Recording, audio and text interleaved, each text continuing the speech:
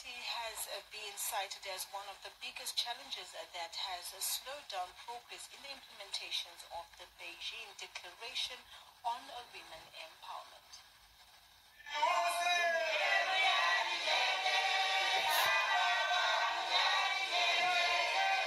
While some apostolic sects have developed a tendency of barring congregants from using hospitals and other medical facilities, Johane Masowe Echishanu sect is taking a different route by encouraging members to use hospitals. The sect led by Madzibaba Simba has gone a step further to donate medical sundries, blankets and foodstuffs valued at over 20,000 Zimbabwean dollars to Bindura Hospital in support of service delivery.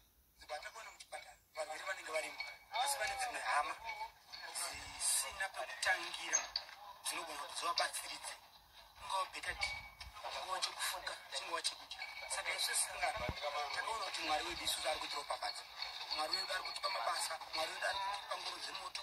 Mwari wedu ari kutipa mabasa akasiyana siyana atiri kuitirwa namwari saka takaona kuti zvakakodzera kuti nguva yataropafadza tinofanira kurangarira zvipatara. Hospitals medical staff welcomed the donation, describing it as a timely intervention.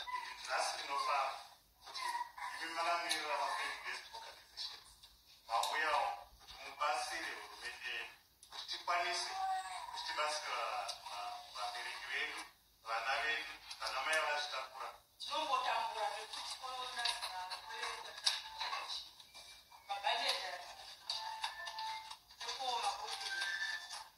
Vatinomatitira The apostolic sect has in the past donated medical goods to Howard Murewa, Wedza and Chitungwiza hospitals. It is also championing hygiene through conducting periodical cleanup exercises to medical institutions. Wellington Makone says ZBC News. The month